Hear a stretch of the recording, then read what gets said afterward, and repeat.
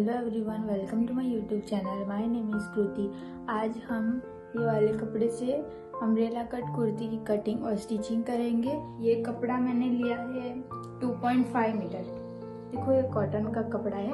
थोड़ा soft cotton रहता है ना, वो कपड़ा है। और ये जो अस्तर का सिंपल कॉटन रहता है ना, वो वाला, ये मैंने लिया है टू मीटर उससे पहले जो मैंने कुर्ती बनाई थी ना, वो दिखा देती हूँ। देखो ये ये कुर्ती है। इसका गला सिंपल राउंड से बोट नेक भी बोल सकते हो। देखो, ऐसा दिखता है। इसकी स्लीव्स इतनी है। पोनी स्लीव्स बोलते हैं आप लोग। क्या बोलते हैं पता नहीं, जो भी बोलते हैं, यहाँ तक की है। एक ये वाला है ग्रीन वाला। इतना, इतनी लेंथ है इसकी। और एक, ये पिंक कलर का है। इसका भी गला देखो, ऐसे सिंपल ही किया है, क्योंकि कपड़ा अच्छा है ना तो उसके ऊपर कोई भी गला करेंगे तो थोड़ा अच्छा नहीं लगता तो इसके लिए। देखो, ये भी ये भी पिंक और ये इसकी भी स्लीव्स में लंबी रखी है, यहाँ तक की ऐसे आएगा। और एक और भी है, ये ग्रीन कलर का है। ये भी ग्रीन ही है। ये वाला थोड़ा सा नेक ऐसा किया ये गले पे, ऐसे डोरी बांधने वाला और ये लटकन भी लगाई है। इसके साथ पैंट भी है, लेकिन वो सिलना बाकी है। तो कुर्ती सिल दी थी तो मैंने सोचा ये आप लोगों को दिखा देती हूँ। इसकी भी लेंथ इतनी रखी है स्लीव्स की आपको ये सब कुर्ती कैसी लगी तो वो कमेंट बताना।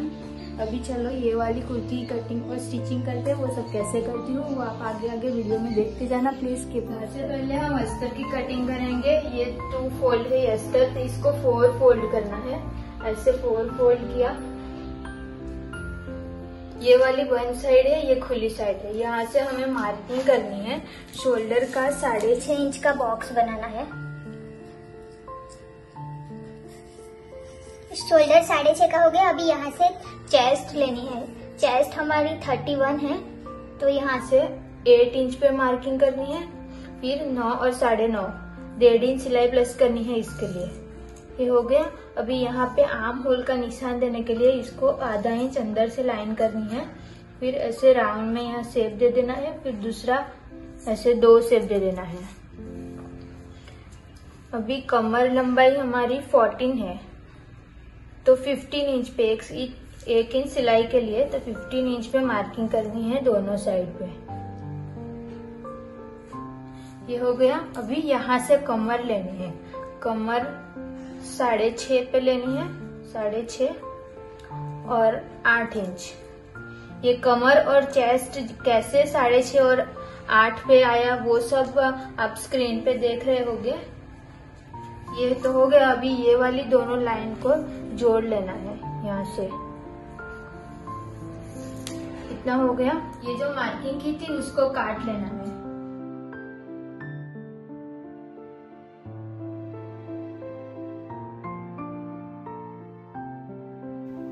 ये काट के हो गया। अभी ये वाला भी कपड़ा जॉइंट है ना, इसमें आपका होगा तभी काटना है। ये वाला मेरे में जॉइंट था। इसके लिए इसको भी काट के अलग कर लेना है। ये काट लिया। अभी आम होल की कटिंग कैसे करनी है? तो पीछे का जो पार्ट है, उसको अंदर कर लेना है और आगे में जो राउंड शेप दिया, उसको काट लेना है। फिर वापस से उसको सीधा करके यहाँ से थोड़ा सा ही काट लेना है। ऐसे काटना है। थोड़ा सा दिखना चाहिए वैसे। अभी आगे के गले के लिए। यहाँ पे तीन इंच पे मार्किंग करनी है और ऐसे में छः इंच पे।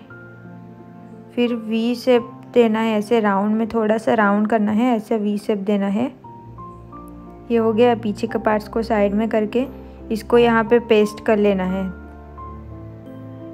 ये हो गया आगे का। अभी पीछे के लिए भी ये तीन इंच पे मार्किंग करनी है। फिर डेढ़ इंच। ऐसे में और बॉक्स बना लेना है, फिर राउंड में शेप दे देना है और इसको काट लेना है। ये आगे पीछे का दोनों अस्तर का कटिंग हो गया। अभी नीचे के घेर के लिए ये जो कपड़ा बचा है ना, उसको ऐसे फोल्ड करना है एक बार। फिर इसको ऐसे रख लेना है ऐसे क्रॉस में। ये रख लिया। अभी? फिर जो ऊपर का हमने काटा था ना वो कोई भी एक पार्ट को यहाँ पे रख के इसे सीधी लाइन कर लेनी है। ये आठ इंच की है। फिर इसको ऐसे राउंड में शेप दे देना है। जो वन साइड रहेगा ना वो राउंड नीचे की साइड आना चाहिए और खुली साइड रहेगा वो राउंड थोड़ा सा ऊपर रहना चाहिए। फिर जो राउंड शेप दिया वो भी आठ आया कि नहीं वो देख लेना। अभी उसकी लेंथ के लिए साढ़े तेरह से थर्टी सेवन इंच पे ऐसे रख के राउंड में मार्किंग कर लेनी है। मैंने जैसे किया था ना सेम वैसे ही करना है। ऐसे थर्टी सेवन में फिर ये राउंड कर लिया, अभी इसको काट लेना है। यहाँ से भी काट लिया। यहाँ पे बीच में एक कट दे देनी है। ये कपड़ा तो खुला ही रहेगा, एक बंद रहेगा तो उसको भी काट लेना है। ये काट के हो गया। यहाँ पे जॉइंट लगाने के लिए कपड़े को ऐसे रख के फिर जो ज़्यादा कपड़ा है उसको काट लेना है। फिर यहाँ पे इसको ऐसे रख के जॉइंट लगा लेना है। ये हो गया। ये जो कपड़ा है ना इसको अभी उल्टा फोल्ड करना है। एक बार फोल्ड किया। इससे फिर वापस से फोल्ड करना है एक बार। ऐसे। टोटल फोर फोल्ड हो गया ये। इसके ऊपर जो हमने कॉटन का काटा था ना ये वाला इसको रख लेना है। ये वन साइड और ये वन साइड दोनों सेम रहना चाहिए। फिर अस्तर से ज़्यादा कपड़ा काटना है। ये दो पीस मिल जाएँगे हम ऐसे। अभी जो अस्तर का कटिंग कैसे किया था ना इसको क्रॉस फोल्ड करके सेम वैसे ही इसको भी कटिंग करना है। अस्तर वाला पार्ट्स इसके ऊपर रख लेना है। कमर जितनी है उतना ही मार्किंग कर लेना है। सिर्फ़ लेंथ चेंज करनी है। वो साढ़े तेरह से फोर्टी इंच पे मार्किंग करनी है ऐसे राउंड में।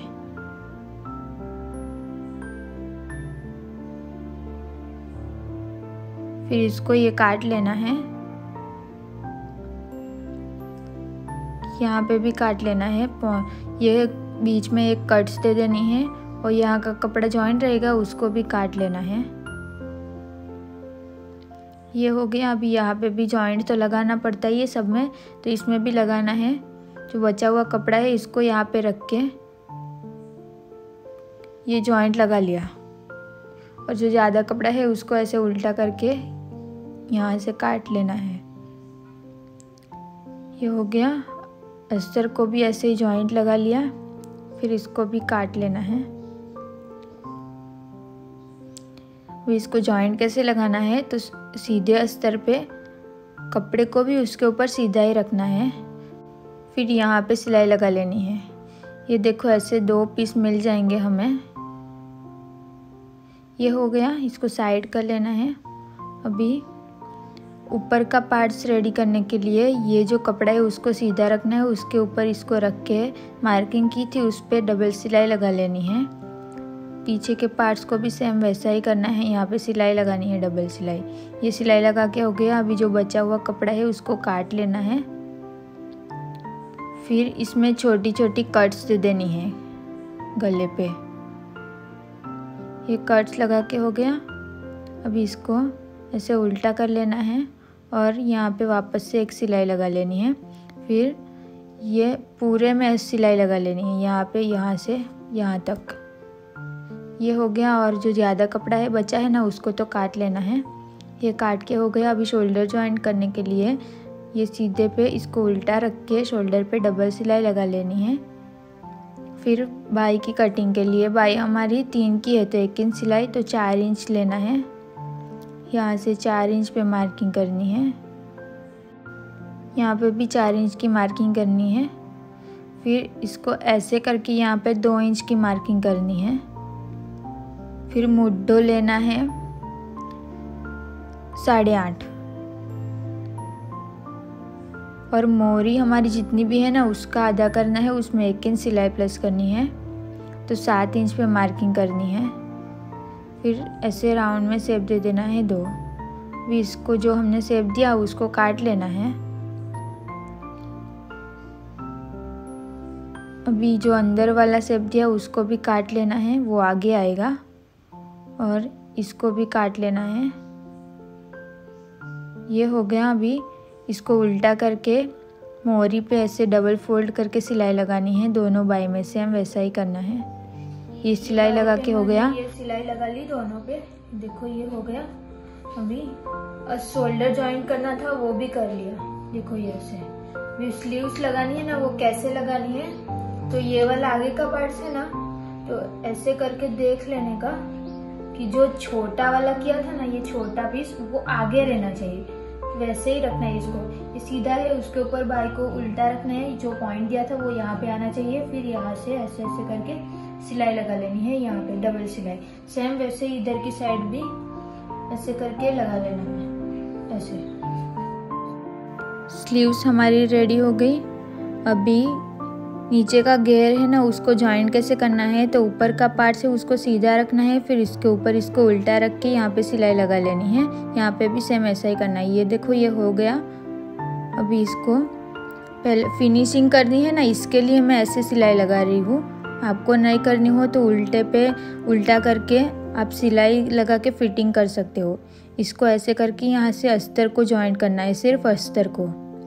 ये देखो, ऐसे सिलाई लगानी है, फिर कपड़े को अलग से सिलाई लगानी है। फिर इसको उल्टा कर लेना है। फिर यहाँ पे वापस से एक सिलाई लगा लेनी है, सिर्फ़ अस्तर पे।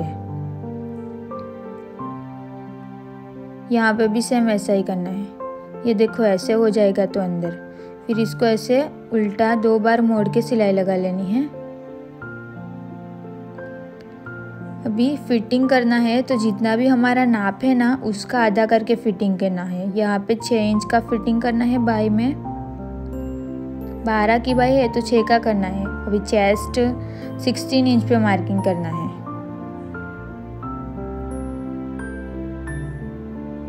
और कमर थर्टीन हाफ़ में मार्किंग करना है। फिर जो हमने पॉइंट लगाया था, उन दोनों को ज्वाइन कर लेना है। यहाँ से नीचे से थोड़ा सा ही करना है। डबल सिलाई लगा लेनी है यहाँ पे। ये सिलाई लगा के हो गया अभी इसको सीधा कर लेना है। ऐसे करके कुर्ती हमारी पूरी रेडी हो गई। Thank you so much for watching this video video अच्छी लगे तो प्लीज़ प्लीज़ वीडियो को like comment share and channel को सब्सक्राइब कर लेना। मिलते हैं अब न्यू वीडियो के साथ।